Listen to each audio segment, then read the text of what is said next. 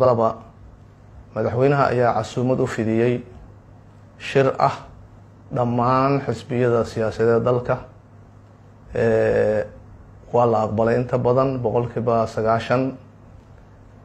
Saddex iyo soddon xisbi ayaa isugu timiday oo sharci ah oo diiwaan gashan oo kamida xisbiyada siyaasadeed dalka.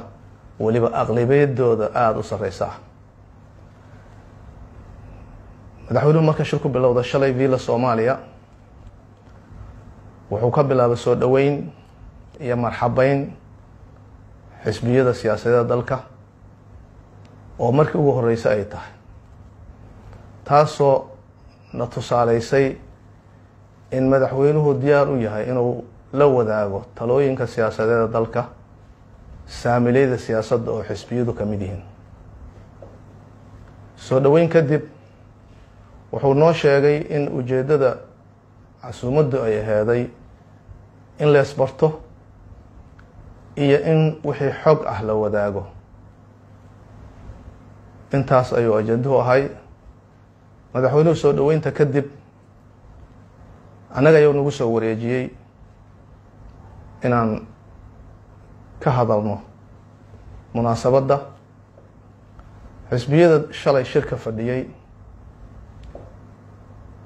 oo ah kuwa ugu culus ee ugu tirada badan ama aqlabiyadda xisbiyada siyaasadeeda dalka arrimo aada muhiima u ah ayay madaxweynaha kala hadleen. Waxaan u jeedinay su'aal muwaadiniinta soomaaliyeed shacabka soomaaliyeed isweydiinayo oo la xiriirta marka waktiga dowladdan loo cayimay uu dhammaado meesha loo socdo. Boqol kiiba boqol xisbiyadu iyagoo taladooda wada dhiibtay xisbi kastana hadlay. Waxay tilmaameen in ummadda soomaaliyeed uga fadhido dowladda madaxweyne farmaajo inay fuliso doorasho xor ah oo shacbigu dooranayo madaxdiisa mustaqbalka lagu dooranayo sanduuq. Laguna tartamaya xisbiyo siyaasadeed. Talooyinkaas ayay soo wada jeediyeen dhammaan xisbiyadu. Iyagoon ku kala raaricin. Iyagoo tilmaamay muhiimadda ay leedahay in uun mar laga baxo labaatan sano ku dhowaadka hababkii lagu soo dhaqmayay oo lagu soo xulayay wakiilada siyaasadeed ee shacbiga soomaaliyeed.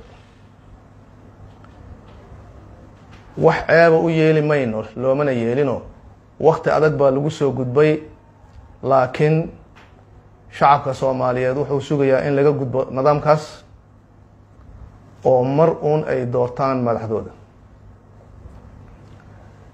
Arrintaas oo lagu nuuxnuuxsaday madaxweynuhu waa ka jawaabay. Wuxuu ku jawaabay in dowladdiisu ay aaminsan tahay waxa xisbiyadu shalay ay soo jeediyeen in doorasha dalka ka dhacdo waktigeedana ku dhacdo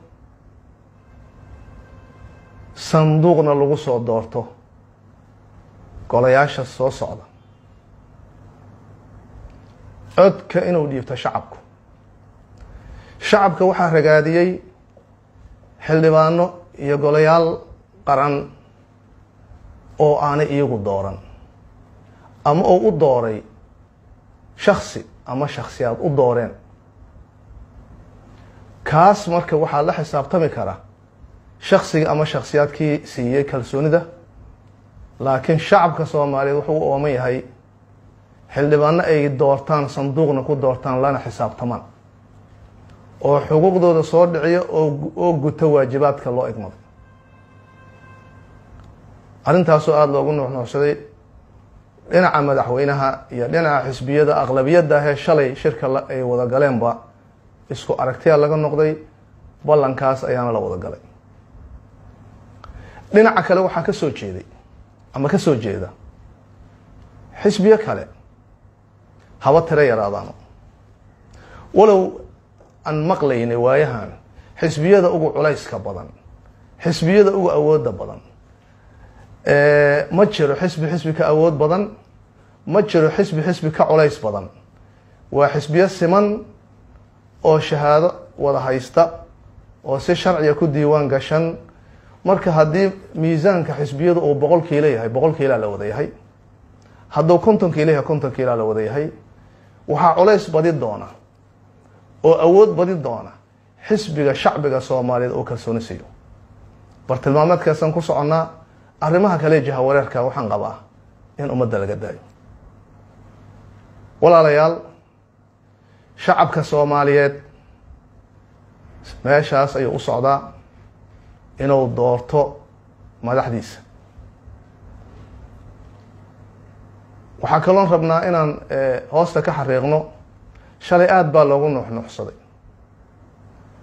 xisbiyo siyaasadeed ama madax xisbiyo siyaasadeed ee dowladda iyo shacabkaba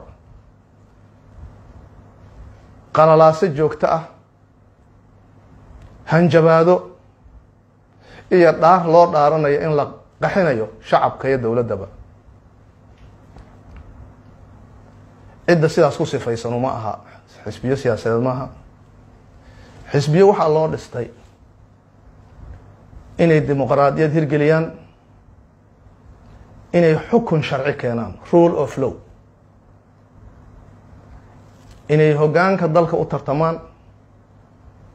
In dowladi dhalata ay dhaliilaan hadday khaldanto waddada ka leexato inay toosiyaan tilmaamana siiyaan ma ahan inay burburiyaan iyo inay caqabad ku noqdaan. Siyaasadda soomaaliya mas'uuliyiinta faraha badan ee ama xilal hore u soo qabtay ama ay u cusub yihiin ama haddaba xilal u haya ee siyaasadaha isdiidan qeyb ka ah. Waxaa shaqadooda inta badan qaatay dowladdan sidii loo curyaamin lahay sidii loo kufin lahay sidii loo dhibi lahay ayaa laga shaqeynaya war dowladda haddii la dhibo oo jidgooyo loo sameeyo oo la carqaladeeyo yaa u shaqeynaya ummadda. Ummadda soomaaliyeed in loo shaqeeya la ciddii wax isku hayso xukun doonaysa. Shacbiga soomaaliyeed ha salaaxato markii doorasho la gaarana ha codsato. Laakiin habdhaqanka siyaasadda soomaaliya maanta jira wuxuu u qeybsan yahay.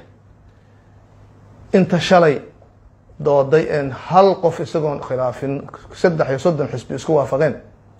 In dalka doorasho ka dhacdo. In dalka xisbiya tartamaan. In doorashadu waktigeeda ku dhacdo oo dowladda soomaaliyeedu ayna isku dayin. Muddo kororsi iyo marmarsiino waxaan rabaa inaan ila wadaago shacabka soomaaliyeed. Doorasho